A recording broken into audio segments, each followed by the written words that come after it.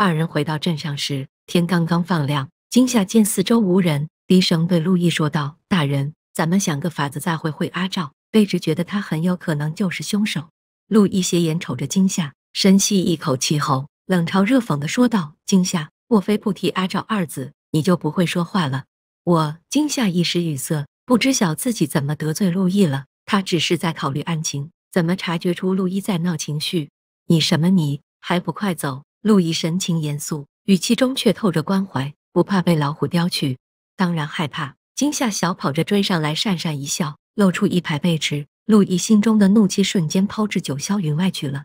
天亮了，红叶镇的街头热闹起来，有摆摊的，有卖早餐的，还有挑着担子卖杂货的。突然，街道上行人不约而同的靠边站立，让出一条甚是宽阔的路。两顶八抬轿子一前一后从众人面前经过。更威风的是，轿子前后左右都有侍卫跟随保护。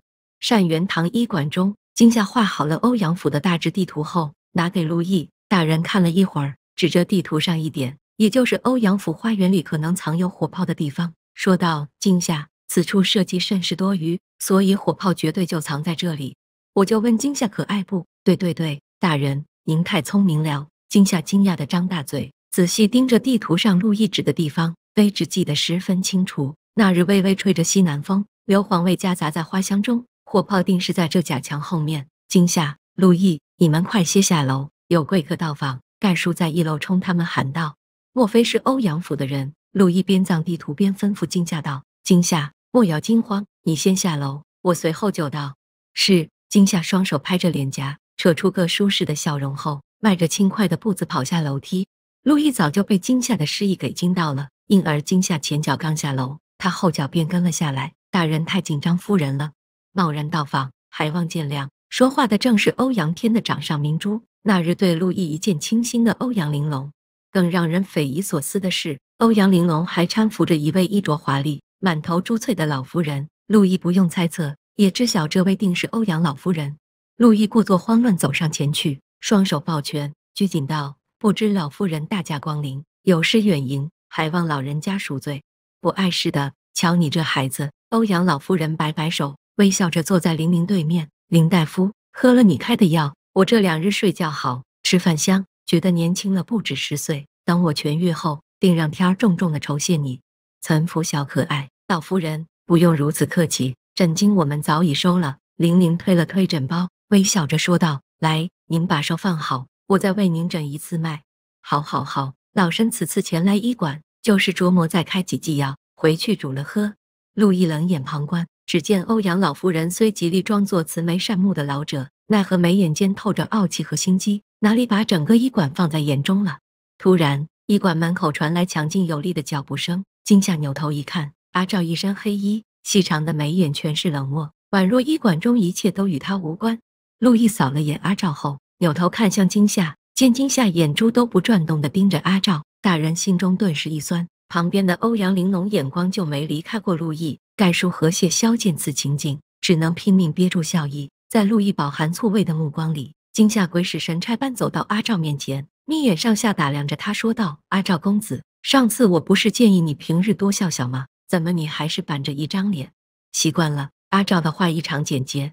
惊吓左手掐腰，甚是粗鲁的说道：“好心当成驴肝肺，切！夏儿不得无礼，还不快快向阿赵公子赔礼道歉！”盖叔生怕惊吓此举惹毛了一身戾气的阿赵，赶忙出言斥责他。知道了，惊吓转身向阿赵屈膝行礼，没好气的赔礼道歉：“阿赵公子，对不起，小女子出身市井，粗俗无礼，言语间冒犯了您，还望您恕罪。”无妨。阿赵看着惊吓乌溜溜的眸子，心中塌陷的角落似乎更严重了。情之一字，无理可依，无法可循。身处黑暗中的阿赵。从惊夏身上看到了他渴望已久的阳光，只可惜这注定是一段没有结果的缘分。惊夏眼珠一转，冒着十二分危险，诈问道：“阿赵公子，我记得前几日见你脖子上有根红绳吊坠来，今儿怎么没有？是否偷偷送给哪位姑娘做定情信物了？”其实前几日在欧阳府花园里，惊夏并未发现阿赵脖子上佩戴的吊坠，他只是想诈问一下。夏爷得意洋洋，旁边的陆毅猛地一惊，暗自惭愧。原来惊夏靠近阿赵是为了查案，在陆毅和惊夏心照不宣对视一眼后，只听阿赵冷漠的吐出四个字：“不慎丢了。”这四个字帮助惊吓和陆毅解开了谜团。红叶山上岑福发现的男尸，凶手就是阿赵。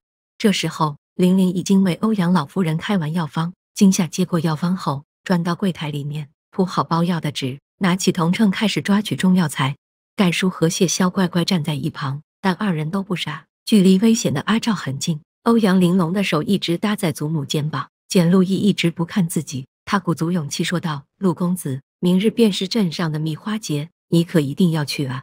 好。承蒙欧阳姑娘盛情邀约，在下一定准时赴约。面露喜色的陆毅双手作揖，他心中只想从欧阳玲珑口中得到关于欧阳家的消息，却没看出那姑娘暗送的秋波。倘若陆毅知晓蜜花节是什么节日，估摸不会暗自高兴了。摘兰叶演戏呢？欧阳老夫人也一直打量陆毅，不住的点头，神情很是满意。倘若不是孙女非缠着他来医馆，老夫人也懒得来回折腾。但见到乖孙女的意中人后，甚是满意，他这个孙女的眼睛一直长在头顶上，如今终于等到自己的良人了。只可惜，这也只是他们的一厢情愿罢了。陆毅此生除了惊吓，绝不可能再娶第二个女子。金夏将包好的药用绳子扎紧，递给阿赵。欧阳老夫人在孙女的搀扶下走出医馆，上了轿子，暮色降临。医馆二楼，陆毅把惊夏到自己房中，二人商讨案情。